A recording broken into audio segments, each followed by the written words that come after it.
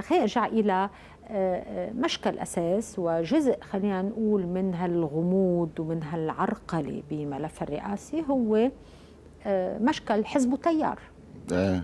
أوكي. يعني لو ما هيدا المشكل كنا يمكن صار عندنا رئيس. واثنيناتهم اثنيناتهم أصدقائي مرحلة. يعني. مش مهم لا اصدقاء ولا مش أصدقاء نحن عم نحكي هلأ وقائع وعم نحكي تحليل وعم نحكي معلومات وسياسة. طيب بعدوا الشبيبة بال إيه هذا مشكل المرة الأولى هو الأعمق بين الطرفين يعني نحن لسنا أمام مشكل عرضي بين حزب الله والتيار. هو مشكل حول التموضعات التي حدثت بعد 17 تشرين وتشخيص المصلحة الوطنية كل من زاويته. حزب الله تشخيصه للواقع شيء والتيار اللي خاض حرب من بعد 17 تشرين أيضا تشخيصه للواقع شيء. هذا التناقض ما لازم يصير جوهري هلا عم ندعي له. بس صار جوهري ولا بعد؟ على طريقه كارل ماركس صار يعني. جوهري ولا بعد برأيك؟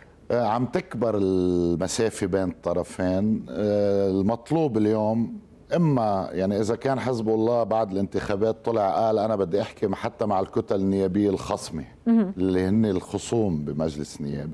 فمن باب أولى يحكي مع الحلفاء. وبالتالي من زاوية حزب الله هذا الملف أو هذه التعقيدات أو هذه المشاكل يمكن معالجتها بالحوار المباشر بين الطرفين. إما بيقرروا يصيروا أصدقاء يتحولوا من التحالف إلى الصداقة وبتصير على القطعة وإما أعمق من هيك. وبعد جملة بس هي واما وإما شو؟ بيرجعوا بينتجوا التحالف أقوى من, من السابق.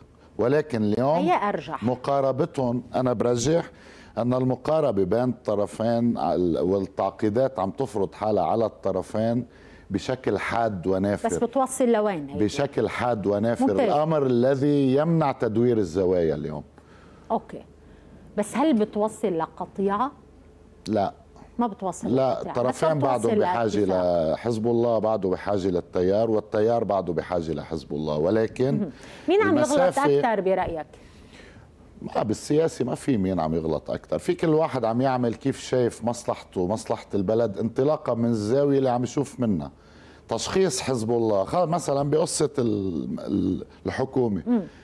عم بيقول إنه أنا رح شارك تحت عنوان تصريف الأعمال الضروري والضروري جدا. رئيس الحكومة كان بده يوسع جدول الأعمال. صحيح ضبط جدول الأعمال.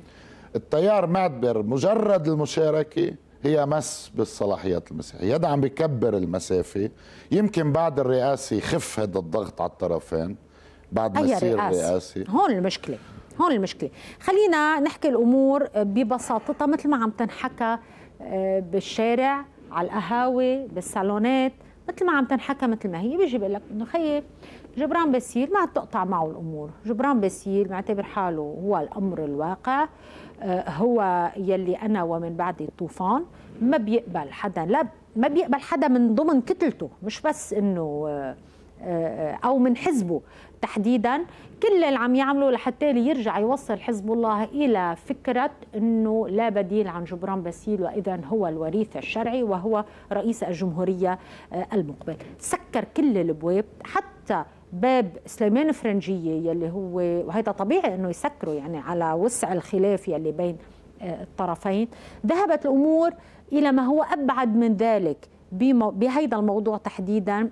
إلى أنه بلشوا يسربوا من داخل التيار ومن تكتل لبنان القوي فكرة أنه نحن أقرب إلى أن نضع يدنا ونصوت لميشيل معوض من التصويت لسليمان فرنجية أو إيجاد غطاء لسليمان فرنجية أو جوزيف عون يعني يمكن سليمان فرنجية بعده أهون من جوزيف عون بالنسبة لجبران بسير يعني في ثلاث وسط هيدي العقلية أي أي مشهدية رئاسيه ناطرتنا يعني؟ في ثلاث نقاط. يعني أول نقطة إنه إذا جبران هو مرشح رئاسي.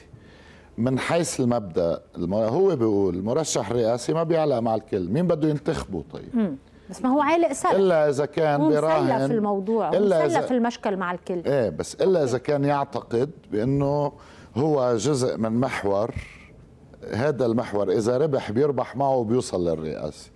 وهذا اللي عم بيصير بالمشكل مع حزب الله بيقول العكس. بيقول إنه مش معتبر حاله جزء من محور. وبالتالي راحت أول فكرة إنه جبران يكون مرشح.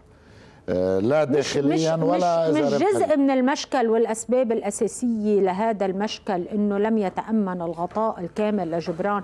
لحتى ينفذ اللي بده إياه؟ لا ما بعتقد هيك. ما هو كمان منه يعني منفصل عن الواقع لدرجة إنه يكون بده يكرر تجربة العماد ميشيل عون اللي خلصت امبارح. امبارح كان عهد التيار الوطني الحر والعماد ميشيل عون وشفنا المعوقات وشفنا طريقة التعاطي الدولي والداخلي نعم. مع العهد ومع الرئيس عون ومع التيار والشيطني وال...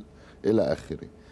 في بيبقى المرشحين التقليديين اليوم في المرشحين التقليديين معروفين سليمان فرنجية ميشيل معوض وجوزيف عون سليمان فرنجية وميشيل معوض عم يشتغلوا على أستاذ نعمة فريم أعلن ترشحه كمان. إيه أوكي بس إنه اللي عم اللي أكثر حرارة يعني أو مش تقليدي فينا نقول.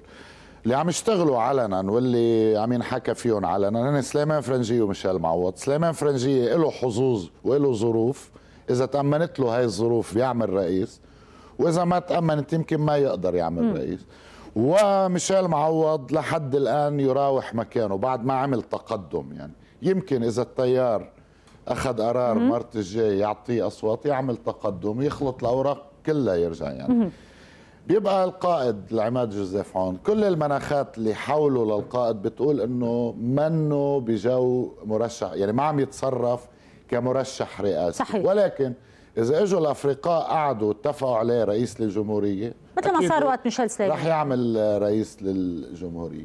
لذلك لا أبعد من الرئاسة موضوع الحزب والتيار.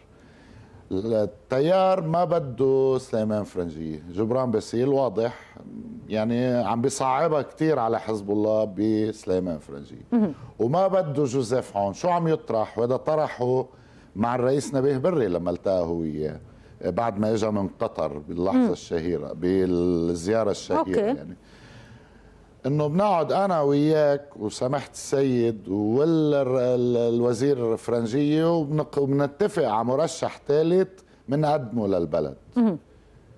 هذه فكرة جبران باسيل برأيي أنا كل ما مرق الوقت لقدام هاي الفكرة بتصير قابلة لل... منا فكرة بالهوى يعني